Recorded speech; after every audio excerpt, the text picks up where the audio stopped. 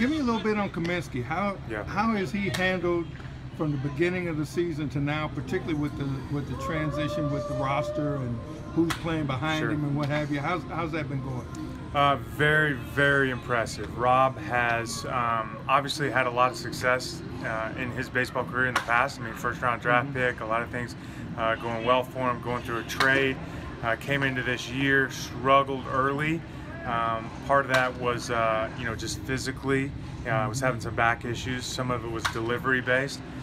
I've never seen someone work as consistently uh, and been as dedicated to getting back to being himself as Rob has. And so, while I'm not necessarily surprised at the success he's having now, um, I am uh, I- I'm very pleased and happy for him because I've seen. You know some of the valleys that he went through, some of the frustrations that he went through, and then how he handled that.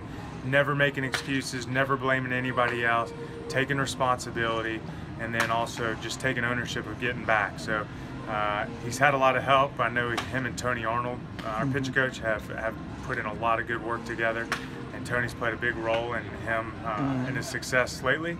Uh, but uh, you know, Rob's been our horse these last couple months, and uh, you know, I expect that to continue throughout the end of the season.